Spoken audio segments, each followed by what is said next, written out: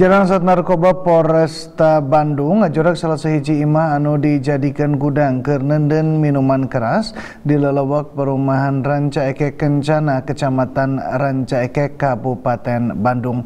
Polisi ngamankan seorang anu tayalian tinu boga eta imah. Petugas di Satuan Reserse Narkoba Polresta Bandung turta Polsek Ranca Ekek nembongkeun dua rohangan di jero salah sahiji wangunan imah di Komplek Ranca Ekek Kencana, Kecamatan Ranca Ekek Kabupaten Bandung anu dipake gudang nenden inuman keras mangrebu-rebu botol tina mang pirang merek jeung jenisna. Di eta gudang anu pernahna di tengah pemukiman warga teh petugas nimu minuman keras siap edar 8.400 botol kalawan mang pirang jenis jeung merek.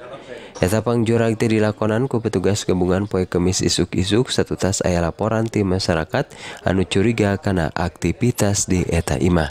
Dumasar kana panalungtikan eta inuman haram teh dipasarkeun secara ilegal di warung jeung kios di wewengkon Bandung Raya.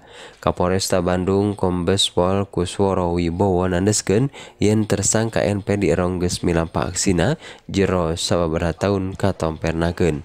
Pihakna geus ngamankeun tersangka saurang inisial NP anu tayalian tinu boga gudang miras ilegal.